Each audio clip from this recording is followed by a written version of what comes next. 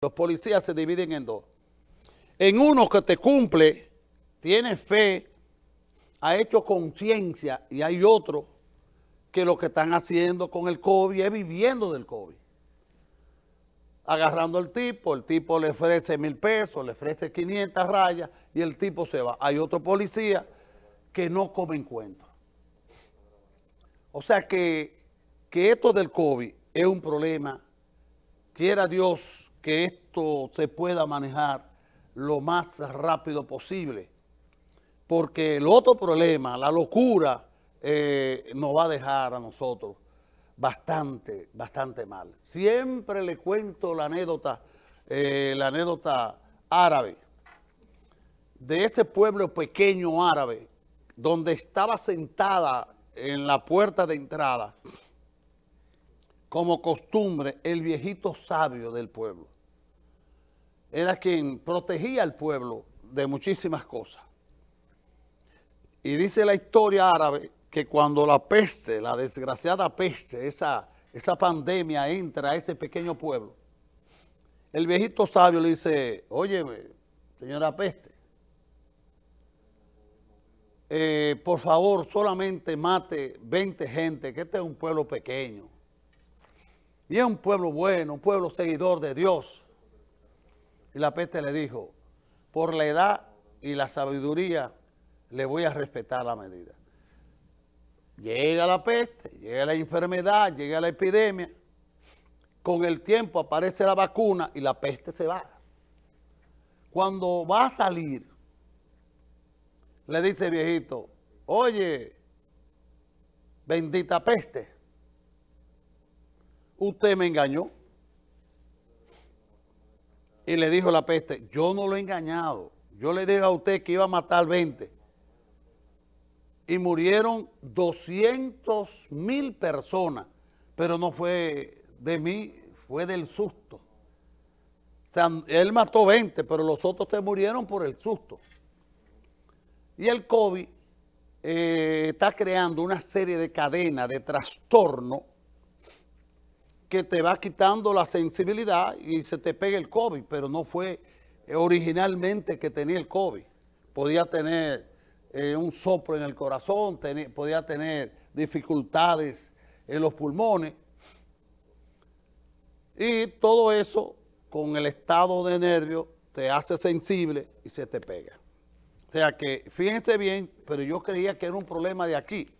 miren este caso, en Europa miles de personas protestan en Europa en contra de las medidas contra el COVID. O sea, eso ya es una actitud en, Europa, que es un país que nos lleva a nosotros miles de, años.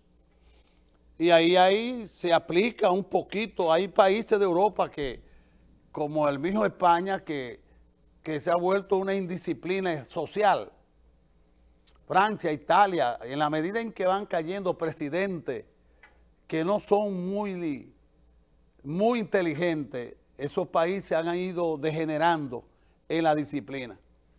Entonces, ¿cómo es posible que esto tiene que explicarse que solamente una gente que han perdido el razonamiento te puede salir a la calle a protestar? Quiten esa vaina, que, que nos mate todo el COVID. Ya es una actitud suicida, suicida y una actitud colectiva. O sea, una loquera colectiva salir a protestar porque quieren proteger a la gente, es porque la gente ya no anda bien. Eso de tú permanecer tanto tiempo en la casa, quizás sin mucha, perdiendo muchas comodidades, porque ya no te puede dar el lujo de quizás bajar la categoría de la comida. Eh, por ejemplo, aquí, en República Dominicana, el gobierno, en vez de estar dando cajita y, tarjeta y vaina, deberían también agregarle, invertir en Radio Televisión Dominicana para que, para que paguen buenas películas. Para que la gente pueda realmente tomar esto un poquito más suave. Yo le manifiesto a ustedes que a mí, a mí en lo personal, me ayuda mucho que me voy los sábados a mi proyecto vacacional, tomando todas las medidas ya, todas las medidas tomándole el distanciamiento, la reducción de visitas, que es una de las cosas que yo más disfruto, que a mi casa puedan ir visitas, conversar con ellos, hablar con ellos.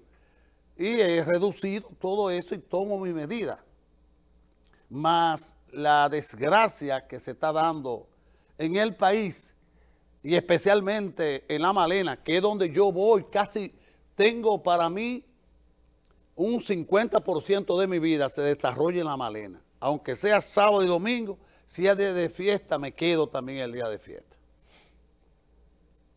Y por eso hablo de La Malena, pero ya La Malena anda entre, por cada dominicano, hay seis y siete haitianos. O sea que la invasión es un hecho. Entonces, eh, yo se lo digo a ustedes, no soy racista porque yo soy duartiano.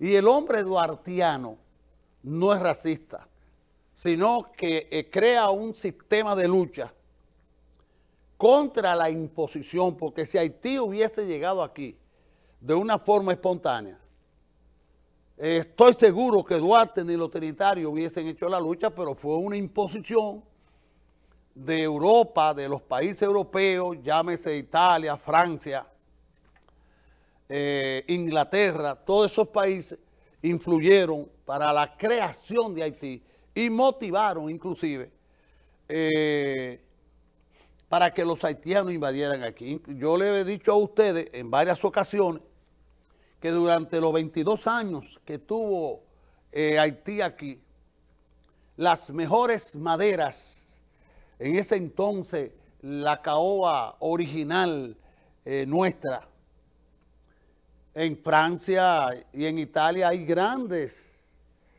eh, edificios en el área jurídica, en, universidades, que lo que se usa, lo que, se, eh, lo que está hecho en madera, está hecho en madera dominicana